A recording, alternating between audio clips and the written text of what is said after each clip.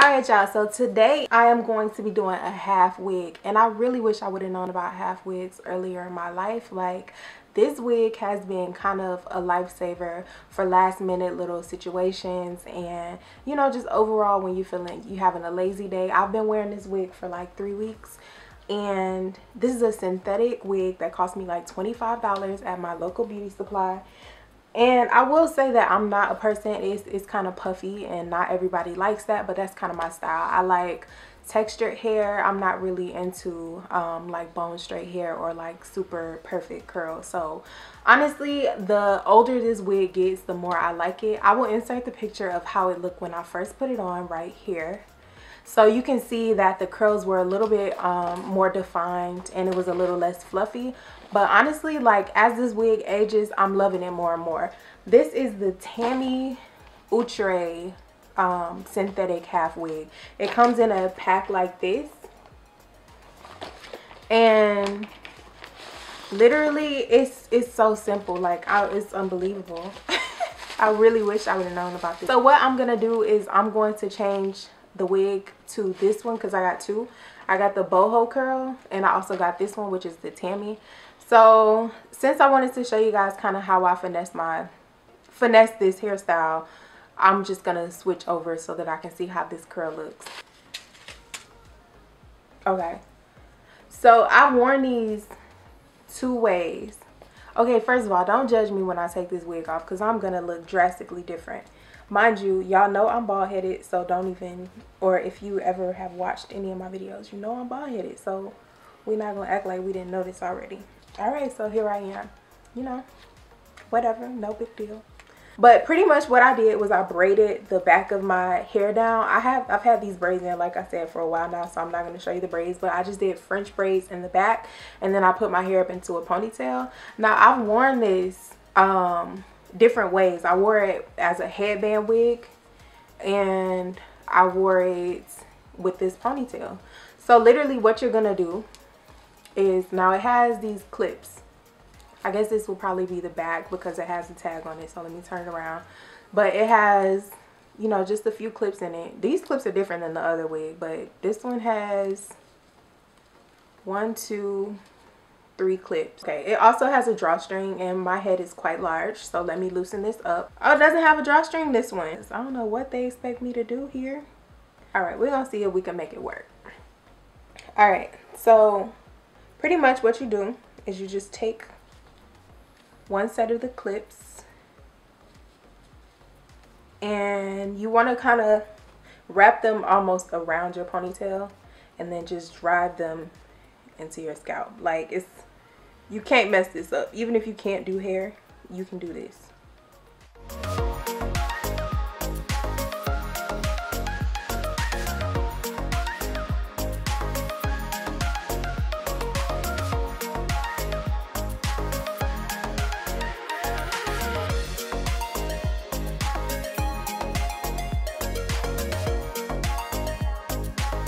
Curls is just too perfect. Let me see if I can comb them out. But know this other wig was like that too so.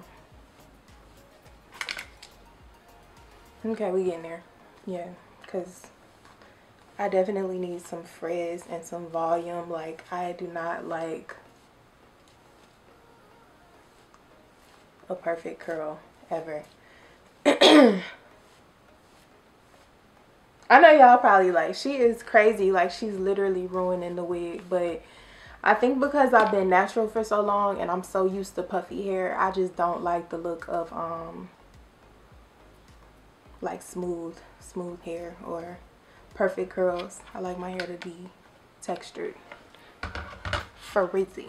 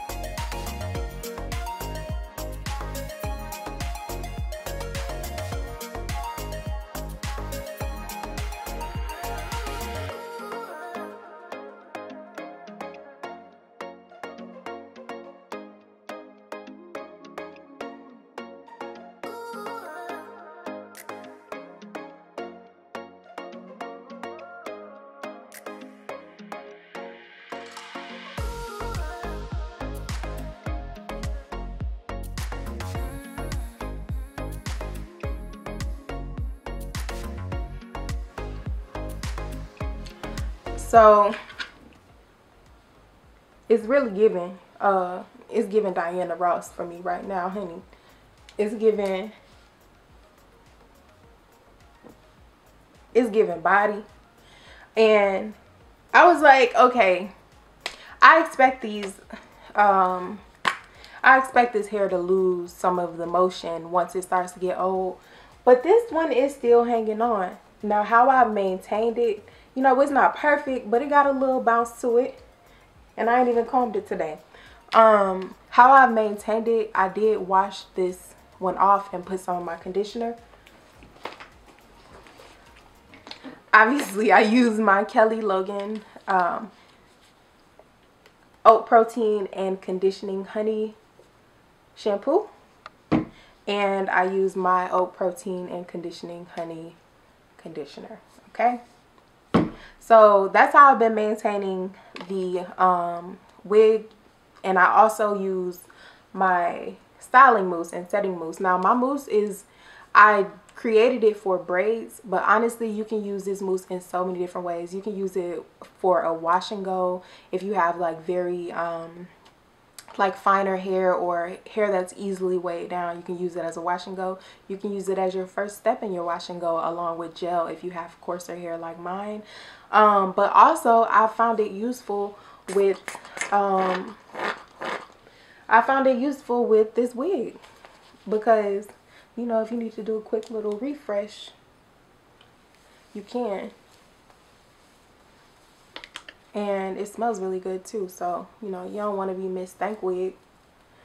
But yeah this is a synthetic wig. And as you see when you put the mousse on it it starts to you know get back to where it was. So I just wanted to show y'all that so if I changed my mind and I wanted it to be a little bit more defined, like if I was feeling a little bit more definition, whatever the case may be, I could do that.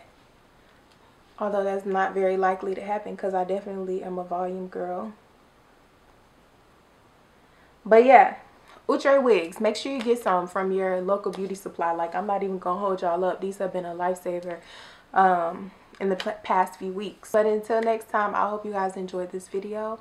Make sure you subscribe to my channel if you're not already subscribed. Um, I do work very hard on these videos to push out this content and I try to stay up on the latest cheaper cheaper trends for natural hair and just overall um, hair care Uh, things that are going on within the hair care industry. And I also have my amazing line of products that is expanding and just getting bigger and better. So if you want to be a part of my journey make sure you subscribe and hit the notification bell so that you will be notified anytime I upload. All right? Mwah.